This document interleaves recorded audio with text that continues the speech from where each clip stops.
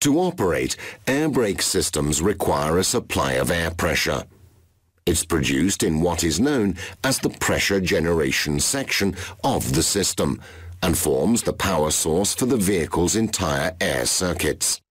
The pressure generation circuit provides a working pressure of around 10 to 12 bars, a means of temporarily storing air pressure, and a method of distributing it to a variety of circuits.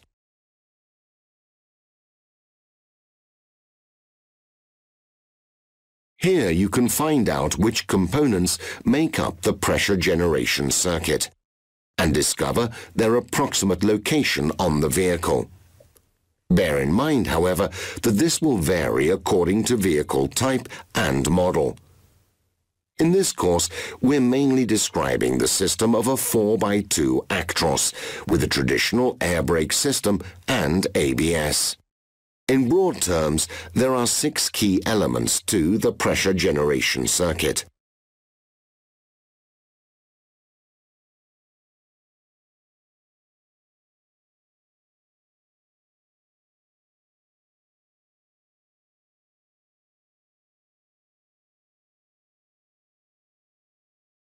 The task of the piston-type compressor is to take in atmospheric air and increase its pressure to a level sufficient to operate the air brake system. It's mechanically driven by the engine, usually by gears. As you might expect, there are various types of compressors, including one, two and three-cylinder versions, as well as those with air pressure regulation known as APR. APR compressors incorporate a special valve in their cylinder head that opens when the operating pressure is reached. With the valve open, the unit operates with reduced compression, which contributes to reducing fuel consumption.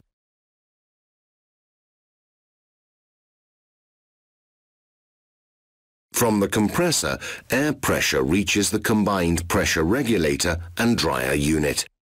The regulator sets the maximum level of pressure in the system, and the dryer removes moisture from the air.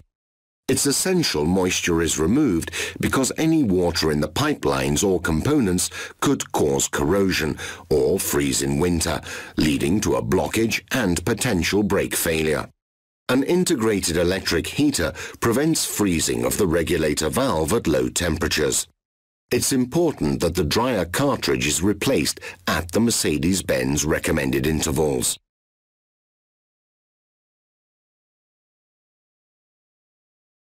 From the pressure regulator, air reaches the multi-circuit protection valve. It's directly attached to the pressure regulator and air dryer assembly.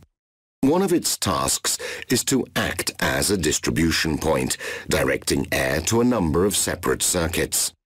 Generally, these supply systems such as service brake, parking brake, trailer, clutch and gear shift circuits, and other auxiliary systems. The multi-circuit protection valve incorporates air pressure limiting valves and overflow valves with limited return. The limiting valves control the maximum pressure in the different air circuits, while the overflow valves protect the vehicle from a total loss of air pressure should a leak in one or more circuits develop.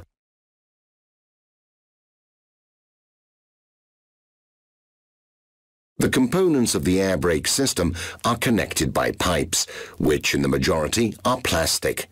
This material is chosen for its flexibility, lightness and non-corrosive qualities.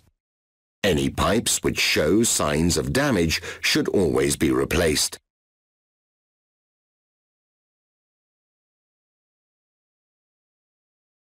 The task of the storage tanks, connected to the multi-circuit protection valve by pipes, is to provide a reservoir of air for the different circuits. This ensures there's sufficient pressure to operate the brakes a number of times after the engine is switched off. In addition, the tanks act as a damper to reduce sudden fluctuations in pressure as circuits are operated. Damaged tanks, either due to corrosion or from being dented, must always be replaced.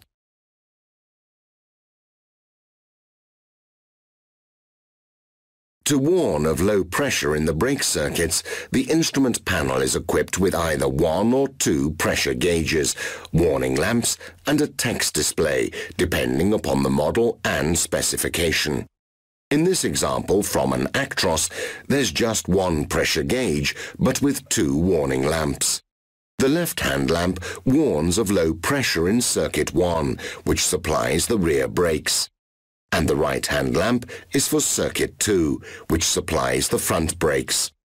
The gauge displays the pressure in the storage tanks of circuit 1 or 2, depending on which is the lowest pressure. In some vehicles, two separate gauges are fitted, one for each circuit. The minimum pressure necessary for safe operation of the vehicle varies according to the model, but generally it's around 10 bar. The switches and sensor that control the lamps and gauges are generally found on the multi-circuit protection valve. Having learnt about the tasks of the pressure generation components, you can now view examples of what they look like on the vehicle. Click on the boxes to call up a picture of the component in situation.